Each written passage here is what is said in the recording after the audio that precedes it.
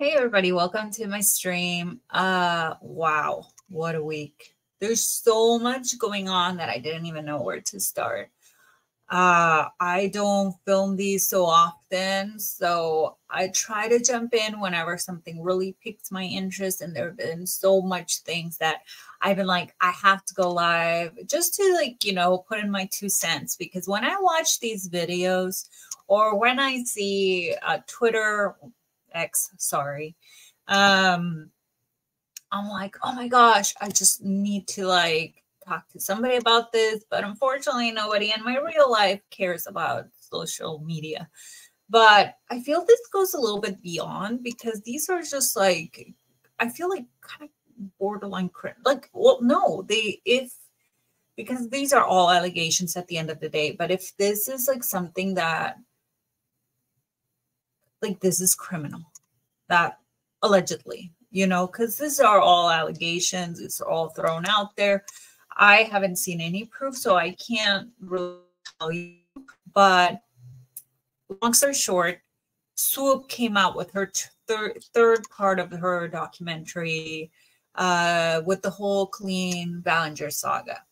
And if you haven't seen uh, her documentaries, her docu series, please go and subscribe to her channel. Um, I'm going to show you. Uh, so this is where I left the video because I want to talk. Uh, I already seen everything. So, but this is her right here. This is Swoop. And so she is a very, very thorough YouTuber. I've been watching her for years now, and I love, love, love, love, love her take on things. I think she's very fair. She gives an opportunity to everybody to put in the, uh, their two cents. So I appreciate that.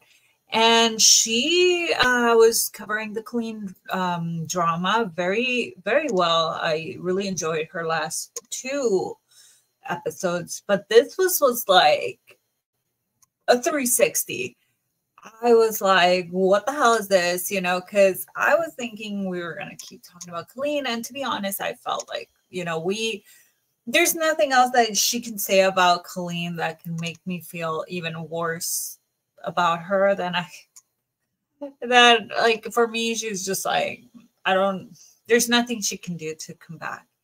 Uh, so when I started looking at it and I saw it was not about Colleen, but about a previously of a victim, basically. Um, what, or what we knew was a victim back then. I was like, holy shit, this sorry. Uh there's a whole other like a whole other situation we have here and this is the problem you know because a lot of us like i've seen on this on social media time and time again like people saying like you know i i kind of knew this like he was so shady it was like this this and that. And so i think everybody had that feeling but we don't want to victim blame because at the end of the day it takes a lot of courage for the victims to get out there and tell their story and then most people really don't believe so we are the ones that are you know are kind of like yes no like we believe you. And sometimes like it takes you a while to recollect all the memories. Some things can be like spotty you know and so we want to give the victims that opportunity to feel free to just express what they want to express without that feeling of like, I'm going to be judged, I'm not going to be believed, blah, blah, blah. So the community was like super accepting of him, even though he really didn't even say any facts. And that was what a lot of people were saying. Like he didn't even show any proof of uh, what he was blaming Josh for. And so if you don't know the story, you're not really going to understand this video. So please, please, please, please, please go ahead to Swoop's channel and go from the beginning from part one, or just go and see any other documentary about this whole Colleen Ballinger drama. Um, I know H3 cover it really well. Um, you don't know H3 podcast, then I don't know what to tell you. You have to go. And I know a lot of people will say, like, oh, they're so controversial. But Olivia did a really great presentation on this subject. It's very informative. And they did have um, the victims on the podcast, including Johnny. And he told his tale, you know. So um, basically, he accused Colleen Ballinger's ex husband of him grooming Johnny when he was just a child, a minor. And we were all like, you know, like, oh my gosh, like this is horrible. But then when it came to like, okay, well, what did he actually do? He was just like, oh, well, he just had a big ego. He told me he was going to mentor me, he was going to take me all the way to the top. And it seems like with him, like his story is always like going back to like, I want to make it big. I want to make it big. And it, he's not making it. You know, he uh, loves the attention. He wants that attention. He, he craves that attention. But it's like he's trying to bring down too many people down to get to where he wants to go. And unfortunately, in this case, he, by saying that he was groomed by this man, he just put allegations of the P word on this man and now come to show with evidence that Sue presented that it was never like that. You know, Johnny was just a fan, uh, a stan that was unhinged. He just got so obsessed with this guy and he thought, and literally his words, this was my meal ticket. This is my big chance to get onto the top. Like this, this, like he leached onto these people because he thought this is going to make me, you know. Oops, my battery is running low. I thought I was connected. Let me check. Hold on.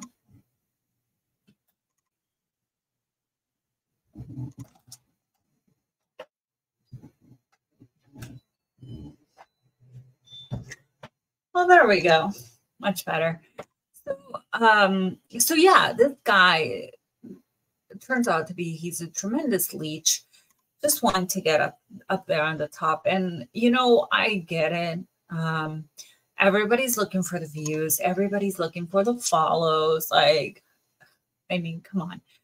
Uh, but at the end of the day, it's kind of like like you have to also do it for you. You know, like I'm here. I don't have any followers. I don't have any views, but I'm still here because I, this is for me entertaining for myself. Um, I want to find like-minded individuals that are willing to talk about these subjects, but also like, you know, um, I have a life. I have kids. I have a husband.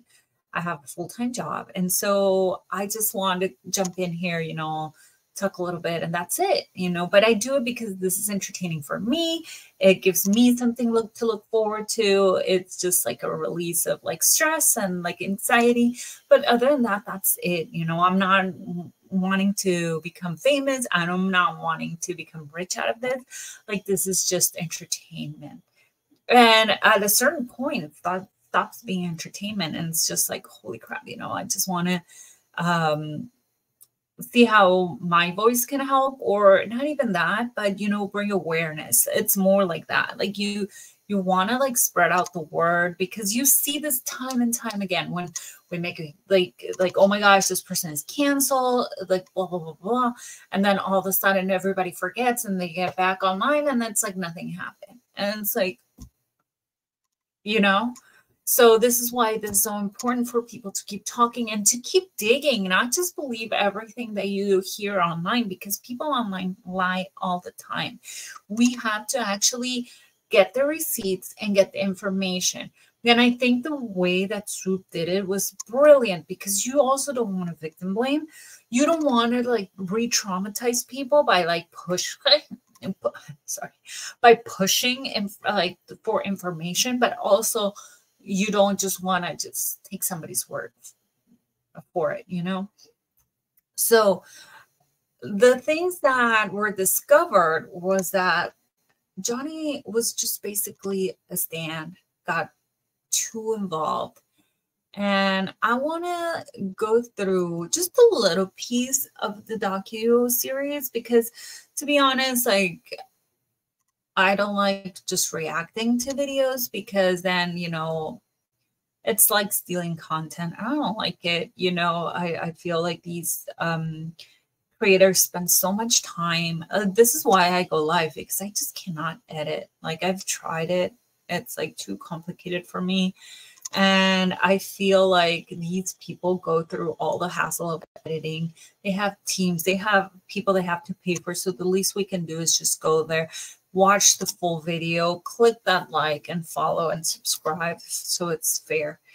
So please go ahead and do that for Swoop. And if you can do that for me too, that would be great. But let's go ahead and see this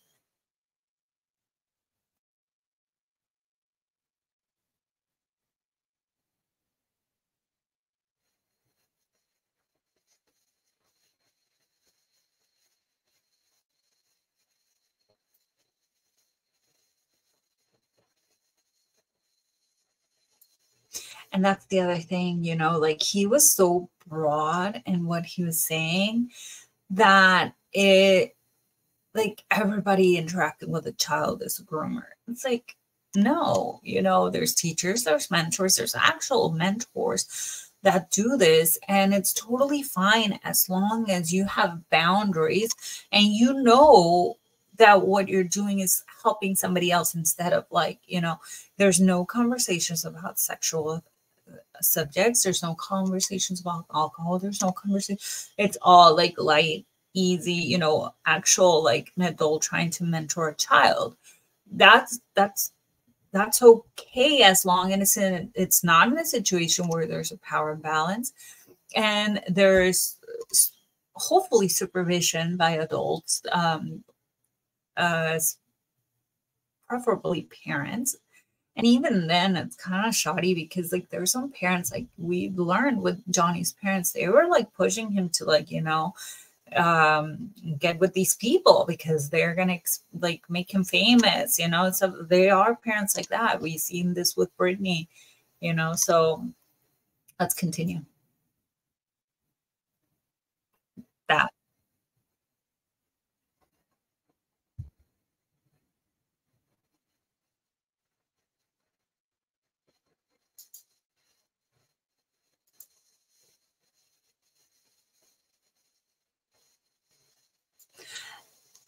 And that's the thing, you know, like under his definition, defi- definition of grooming, then, you know, um, he was doing the same thing that Joshua did with him. And I just feel so bad for Joshua because we all know how much he lost uh, through his relationship with Colleen, how much he went through, and now to be blamed for something he never did. He was just trying to like he did a lot of things wrong, you know, but nothing to the caliber that Johnny was claiming. And so I just feel so bad for him. And I just like kept like texting everywhere, like hashtag justice for Joshua, because like that man has, I'm pretty sure he's has been going through it. Like he's uh, continually being continuously being sane please leave me alone. I'm away from social media. I have a quiet life now. And Johnny was like, every single video, you know, like slamming at him, like, hey, you know, it was just now hindsight is 2020, right? But it's like,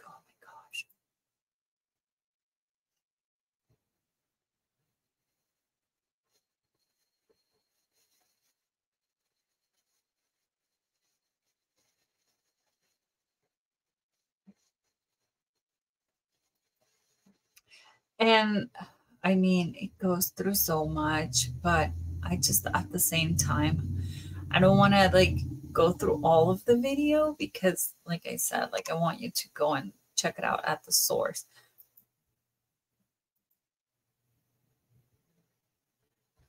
Oh my God.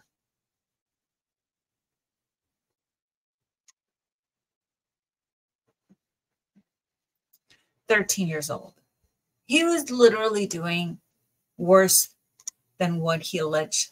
And that's the thing, you know, with people like this, it's like you blame people, it's like cheaters, you know? Like if somebody's cheating on you, they will blame you for cheating.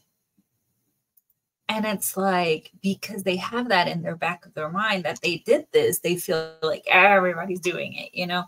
And so I feel like it's so funny how you've been doing that, but you accuse somebody else to do it on you, and you're so appalled, even though you're doing it with other people. Like, come on.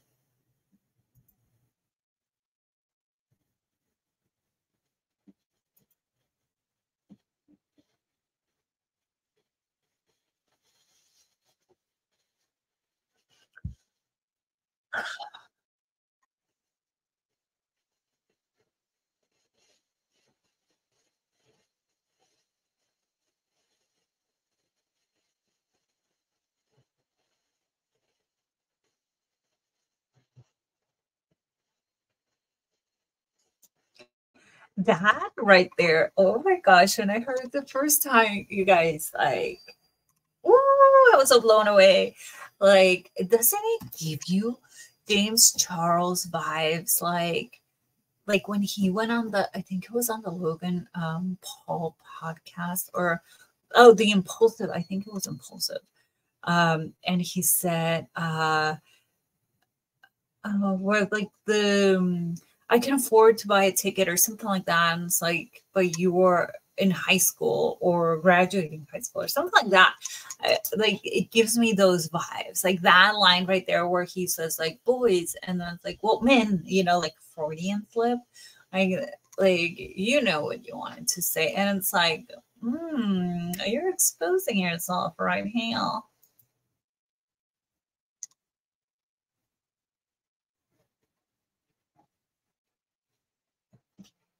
Boom. Boom. Sorry, I didn't mean to uh, be so loud, but yes, you know, yes, yes, yes. Like he is talking about sexual things, like, oh, I want boys, like men in my chat because, like, I'm comfortable in my sexuality. So you are admitting, sir, you are admitting that you want people in your chat for sexual purposes. Hmm. Let's move on. Oh my gosh. This is like so uh if the Colleen Ballinger situation was bad, this is even worse. Because we uncovered like why is everybody that's surrounding Colleen like this? You know? Like this is like a conversation that needs to be had because why is everybody like that? It's a problem if you're seeking people like mine, like like I just said in the beginning of the stream, like I am here because I'm looking for like-minded people that want to talk about these things. Like the fact that Colleen Ballinger, like everybody surrounding her has this mindset, it's like, you know,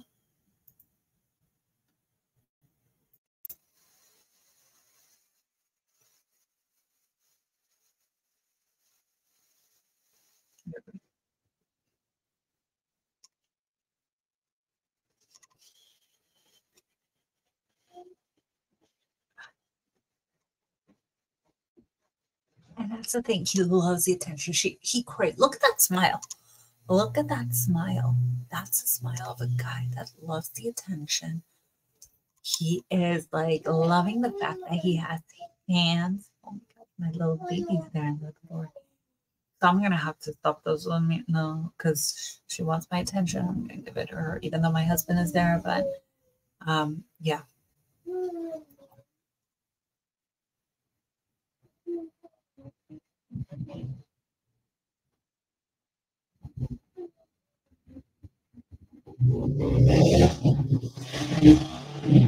Sorry about all the noise.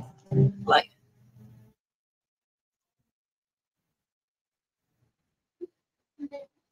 Well,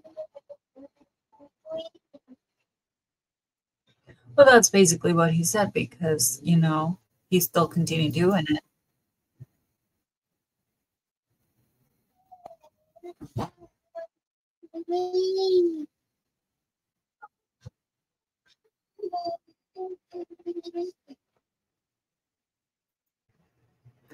Okay, you guys, I will continue this later today because my daughter is asking for my attention and I just have to give it to her because I'm a mom, you know.